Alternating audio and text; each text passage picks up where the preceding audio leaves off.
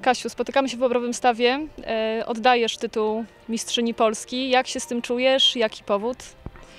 No powód jest e, prosty, po prostu nie mam e, zastęp, następcy Ekwadora, który został w zeszłym roku sprzedany. Miałam tutaj taką debiutującą młodą klacz, której, której w ogóle nawet nie planowałam wystartować pełnych mistrzostw, tylko spróbowałam ten łatwiejszy konkurs Inter 2.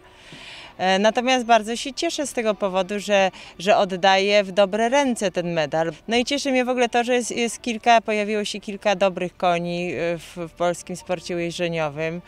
I to rokuje dobrze na, przyszłość. Na przyszłość. Natomiast no, no ja liczę na to, że te moje młode konie dojdą w przyszłym roku i też mogę, będę, będę mogła się z nimi zmierzyć, ale to za rok. Czyli zabierze, zabierzesz medal za rok. Tego, no, mam nadzieję, że po prostu z nimi się zmierzę i wtedy będziemy walczyć. Oczywiście o złoto. No tak jak wspomniałaś, nie dajesz o sobie zapomnieć w tych Mistrzostwach Polski, bo e, liderka konkursu Anna Łukasik jedzie na Twojej klaczy, Stella Paganda. E, Czy mogłabyś powiedzieć e, coś więcej o tej klaczy? To jest klacz w ogóle mojej hodowli, czyli była, jest córką Ogiera, e, który się w Polsce urodził, natomiast e, matką jest klacz, którą sprowadziłam z Niemiec.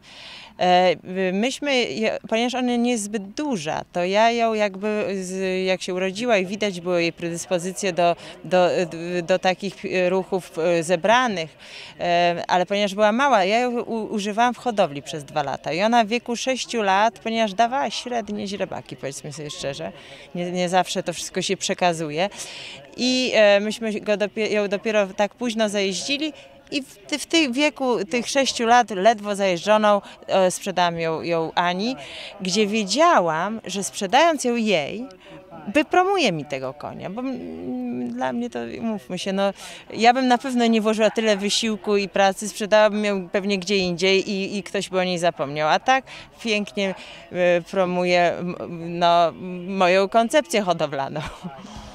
Super. E, No teraz pewnie tendencyjne pytanie. E, Co z Twoimi planami na przyszłość? Mówię tutaj przede wszystkim o perspektywie zbliżającej się olimpiady.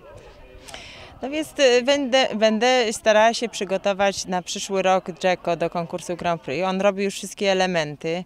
E, Należy je jeszcze złożyć, e, że tak powiem, razem.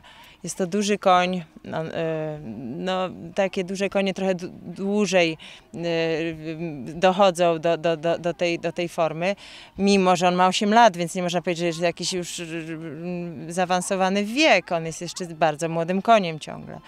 Mam jeszcze drugi, drugiego konia, na, który, na którego stawiałabym, ale on jest jeszcze siedmioletni, także to w ogóle może być za wszystko trochę jest jakby za wcześnie. Natomiast na Jacko liczę poważnie, ale dopiero od przyszłego roku.